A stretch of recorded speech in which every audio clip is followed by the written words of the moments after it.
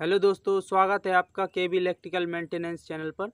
दोस्तों, आज जो हम आपके लिए वीडियो लेके आए हैं, वो एक हमारी सोडियम वेपर लैंप से रिलेटेड वीडियो है। दोस्तों, क्या है, एक हमारी जो सोडियम वेपर लैंप है, वो जल नहीं रही है। तो आज हमें उसी को मेंटेनेंस करना है कि ये क्यों नहीं जल रही है। तो आज हम उसको चेक करेंगे और देखेंगे उसमें क्या प्रॉब्लम है।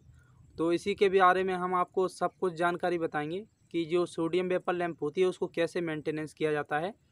और जो अगर उसमें जो इक्विपमेंट लगे होते हैं, उनको कैसे चेक किया जाता है कि कोई इक्विपमेंट ख़राब है या सही है? क्योंकि अगर कोई इक्विपमेंट उसमें ख़राब हो जाता है तो हमारी जो सोडियम वेपर लैंप है, वो जलती नहीं है। तो हमें वही चेक करना होता है कि कोई इक्विपमेंट जो है, वो हमारा ख़राब तो नहीं हो गया है, और जो सप्लाई है, वो हमारी वहाँ तक पहुँच रही है या नहीं पहुँच रही है। तो यही चीज़ हमें सबसे पहले देखनी होती है, और उसके बाद हमें उसको चेक करना पड़ता है, उसके इक्विपमेंट को चेक करना पड़ता है कि कोई इक्विपमेंट ख़राब है या नहीं। तो दोस्तों, अगर आपको हमारा वीडियो पसंद आता है तो हमारे चैनल के बी इलेक्ट्रिकल मेंटेनेंस को सब्सक्राइब कर लें और बेल आइकन को भी प्रेस कर लें, जिससे हम कोई वीडियो अपलोड करें, उसका नोटिफिकेशन आपके पास आ जाए। देखिए दोस्तों, हम आ गए हैं जहाँ पर हमारे जो स्ट्रीट लाइट है, सोडियम वेपर लैंप लगी हुई है, वो जल नहीं रही है। तो ये जो हमारी है, वो सोडियम वेपर लैंप के लिए सप्लाई जा रही है, ये पोल की सहायता से ये वायर लगे हुए हैं। तो क्या है, यहाँ पर हम पहले क्या करेंगे टेस्ट लैम्प को लगा के देखेंगे कि जो हमारी सप्लाई है, वो यहाँ तक आ रही है नहीं। देखिए, जब हमने टेस्ट लैम्प को लगा के देखा तो ये सप्लाई जो है, वो हमारी यहाँ तक आ रही है और जो हमारी जो स्टील लाइट है सोडियम पेपर लैम्प है, वो जल नहीं रही है, बंद है। तो अब हमें इसी को चेक करना है कि ये बंद क्यों है और जब सप्लाई हमारी यहाँ तक आ रही है, यहाँ भी हम कनेक्टर जो लगे हुए हैं, यहाँ पर भी सप्लाई चेक कर लिए तो यहाँ पर भी हमारी सप्लाई बराबर आ रही है। तो अब हमें चेक करना है कि क्या प्रॉब्लम है। तो जब हमने इसको सही से देखा तो ये जो हमारा कैपेसिटर लगा हुआ है, ये हमारा कैपेसिटर ख़राब है। ये हमारा कैपेसिटर डैमेज हो चुका है। तो हम क्या करेंगे, जो कैपेसिटर है, उसको निकाल देंगे। जो कैपेसिटर होता है, वो हमारा पावर फैक्टर के लिए होता है। तो क्या है, जो कैपेसिटर को भी हम निकाल देंगे, तब भी हमारी जो लाइट है, वो चालू हो सकती है। तो हम इसको निकाल देंगे और फिर जैसे हमारे कनेक्शन थे हम सेम वैसे ही कनेक्शन करके और जो इसको दोबारा सप्लाई दे के फिर देखेंगे कि जो हमारी लाइट है, वो चालू हो रही है या नहीं हो रही है। अब जौन सा वायर हमने जहाँ से निकाला था, उसको वहीं पर अच्छे से टाइट कर देंगे और इसको बिल्कुल भी लूज़ ना रहने दें। अगर लूज़ रहने देंगे तो क्या है, जो लूज़ कनेक्शन की वजह से स्पार्किंग होगी और उसकी वजह से हमारे कनेक्टर भी जल सकते हैं और कोई भी इक्विपमेंट हमारा ख़राब भी हो सकता है। तो इसलिए हमेशा जो भी हम लाइट का कोई वायर है, उसको हमेशा टाइट करके रखें। अब हमने इसको अच्छे से टाइट कर लिया है। अब हम इसको दोबारा सप्लाई दे के देखेंगे कि हमारी जो सोडियम वेपर लैंप है, वो चालू होती है या नहीं होती है। तो देखिए दोस्तों, अब हमने दोबारा इसको ऑन किया है सप्लाई को और टेस्ट लैम्प हमारी ग्लो हो गई, लेकिन जो हमारी सोडियम वेपर लैंप है, वो अभी भी नहीं जली है। तो अभी भी हमारा इसमें कोई फॉल्ट है। तो अब क्या करेंगे, हम इसको अच्छे से चेक करेंगे कि इसमें जो इक्विपमेंट लगे हैं, उनमें से कोई इक्विपमेंट ख़राब तो नहीं है। देखिए जो बल्ब है, वो हमारा बिल्कुल सही है, नया बल्ब लगा हुआ है। और ये हमारी जो है वो ब्लास्ट है। चौक है। तो क्या है, चौक जब ख़राब होती है तो हमारी शॉर्ट हो जाती है, इसमें से जो इंसुलेशन है, जो वायर है, वो अलग दिखने लगता है, काली पड़ जाती है। और ये है हमारा इग्नेटर जो तो इसको अभी हम खोल के देखेंगे कि ये भी कभी कभी ख़राब हो जाता है। तो देखिए, जो अब हमने इग्नीटर को खोल के देखा तो ये इस, यहाँ पर जो कालापन आ गया है इसमें इसमें जो हमारी रेजिस्टेंस लगी हुई है, देखिए।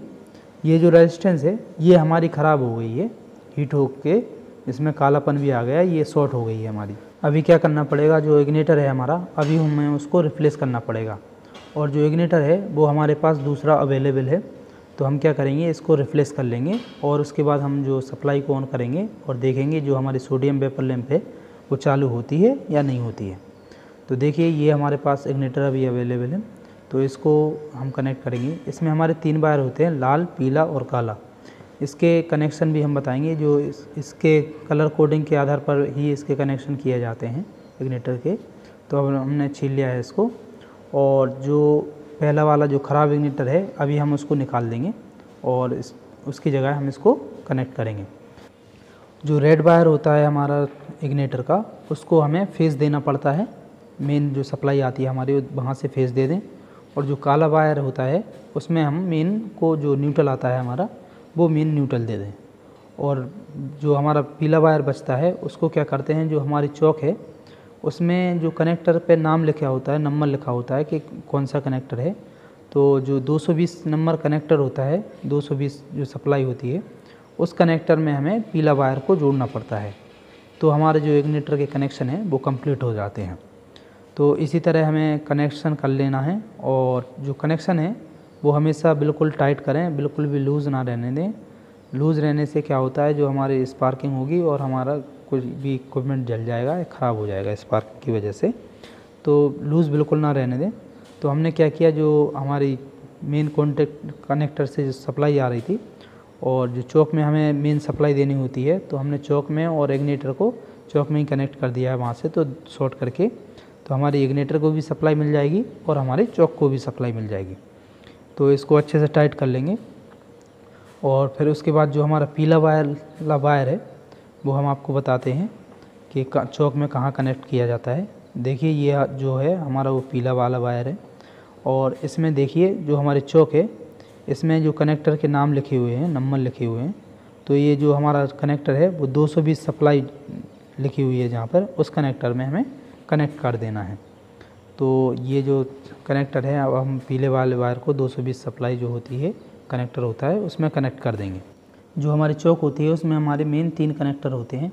पहला जो होता है 240 नंबर कनेक्टर होता है 240 तो उसमें क्या करेंगे, हमें जो मेन सप्लाई देनी पड़ती है 240 कनेक्टर में, जो मेन फेस आता है, वो फेस को दे दें। और फिर उसके बाद जो दूसरा कनेक्टर होता है, वो हमारा 220 नंबर कनेक्टर होता है। उसमें हमें क्या करना होता है, जो हमारा इग्नेटर का पीला वाला वायर है, उसको कनेक्ट करना पड़ता है। और तीसरा जो हमारा कनेक्टर होता है, वो कॉमन कनेक्टर होता है। इस पॉइंट से हमें जो हमारा होल्डर लगा हुआ होता है, उसमें हमें फेस देना पड़ता है। और जो होल्डर में हमारा दूसरा वायर होता है न्यूट्रल और जो हमारा इग्नेटर का दूसरा वायर होता है न्यूट्रल उसको दोनों को न्यूट्रल देना पड़ता है हमें। काले वाले वायर इग्नेटर का और जो हमारा होल्डर से आ रहा है, एक न्यूट्रल वहाँ देना पड़ता है।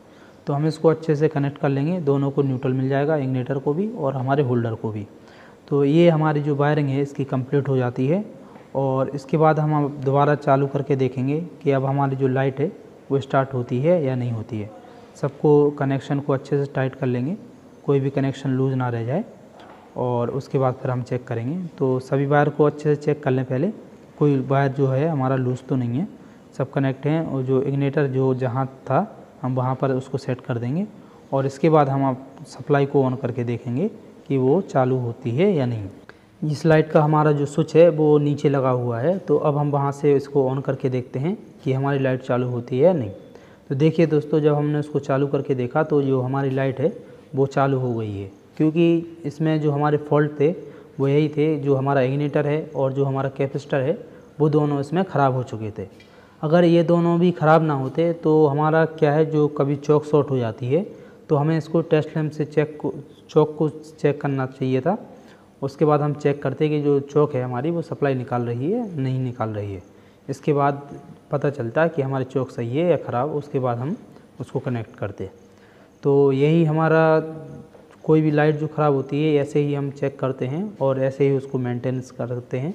एक एक चीज़ को देखते हैं वेरीफाई करते हैं कि कौन सी चीज़ ख़राब है, उसको फिर रिप्लेस कर देते हैं और ये हमारी लाइट जो काम करना चालू कर देती है। तो अब जो इसका कवर है, अब हम उसको बंद कर लेंगे, क्योंकि नहीं तो इसमें पानी ना जाए तो ये इसका कवर है और इसको कवर को बैठा के सही से, और इसमें जो चारों साइड हैं, वो लॉक लगे हुए थे। देखिए, ये जो है, इसको रख के और इसको थोड़ा प्रेस करना होता है, जिससे वो उसमें फिक्स हो जाता है, इसके बाद वो निकलता नहीं है।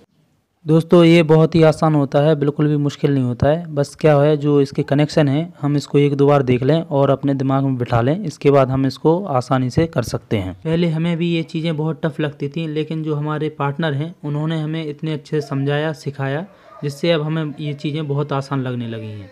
हमारी इस नॉलेज में इनका भी बहुत योगदान है।